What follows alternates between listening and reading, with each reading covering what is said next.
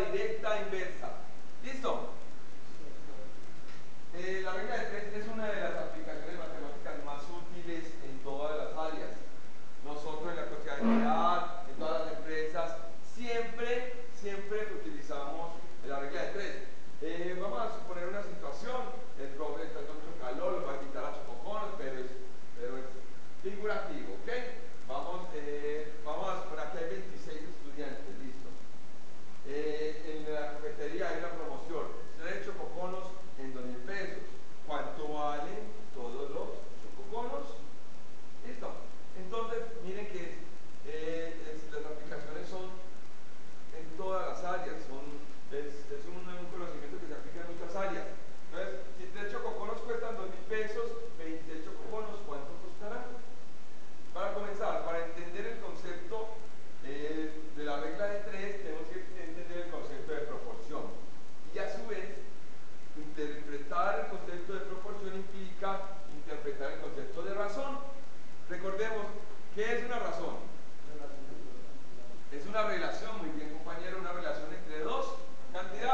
Por ejemplo, lamentablemente en este grupo tenemos una sola mujer. Listo, vamos a asumir que igual a 8 doceavos.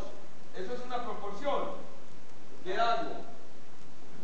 Cojo los extremos, 2 por 12 me da 24. Tomo los medios, 3 por 8 y también me da 24. En efecto, esto es una proporción. Entonces ahora,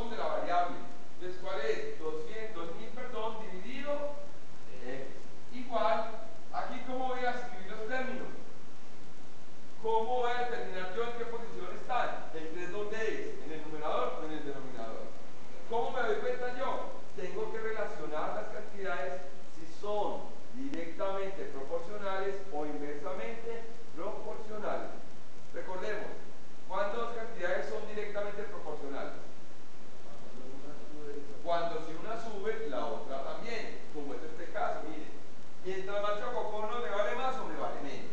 Más, más. Ese tipo de relaciones son directamente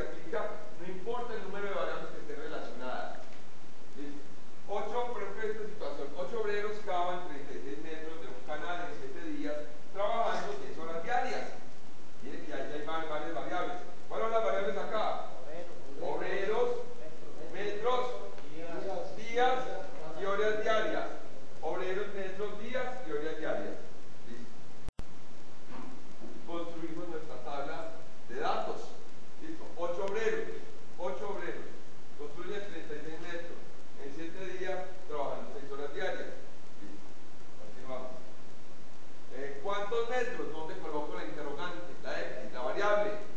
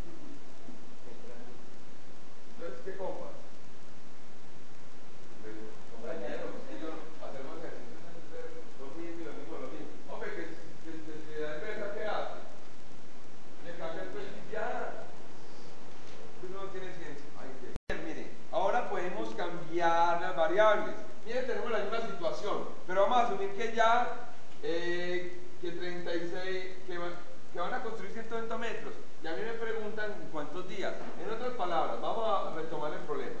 Si 8 obreros cavan 36 metros en 7 días, trabajando 6 horas diarias, ¿cuán- ¿en cuántos días 5 obreros cavan 100 120 metros, trabajando 8 horas diarias? Entonces, se realiza el mismo procedimiento, pero, perdón, tengo que tener en cuenta cómo, eh, si son directos o inversamente proporcionales. ¿Cómo todas las voy a relacionar respecto a quién? A días. Entonces comienzo, mientras más obreros tenga, más o menos días me demoro. Entonces, ¿cómo son estas dos? Inversamente. Entonces, a la hora de colocarlas acá, les vamos a cambiar de lugar. Muy bien. Ah, sigamos metros y días. Mientras más metros tenga que cavar, me demoro más o menos días. Mientras más metros tenga que cavar, se demora. Mientras más metros tenga que cavar, me va a demorar más días. Listo, entonces estas dos, ¿cómo son? Directas. Y ahora horas día con días. Mientras más horas días trabaje, me demoro más o menos días en días. Entonces, esta cantidad sí es inversa. Entonces vemos que dependiendo de la variable, siempre, no, no es que siempre van a ser directas o siempre inversas, no, dependiendo de la variable que esté relacionando. En este caso, obreros es inversa y horas días es inversa respecto a quién? A días, mientras que metros sí es directa. ¿Me hice entender mis queridos educandos? ¿Perdón? Ah, entonces, bueno, no correcto. Entonces, ¿cómo quedaría pues? A ver, 7, 7 sobre. Igual, este es inverso. Entonces me quedaría 5 arriba, 8 abajo. Este es directo. Entonces me quedaría 36 arriba, 120 abajo. Este es inverso. Entonces me quedaría 8 arriba, 6 abajo. Entonces despejo X. ¿Cómo me quedaría X? 7 por 8 por 120 por 6 dividido 5 por 36 por 8. Bueno, esto para, como para simplificar un poquito, esos 8 se pueden cancelar. Procedamos ya en la calculadora. Entonces, 7 por 120 por 6 dividido 5 y dividido 36. ¿Listo? Igual 28 exactamente. ¿Qué quiere decir? Que, de, ¿qué me estaban preguntando? Días. O sea que cuántos días voy a acabar todos esos metros en el 38. Sí. Ahora sí me dice entender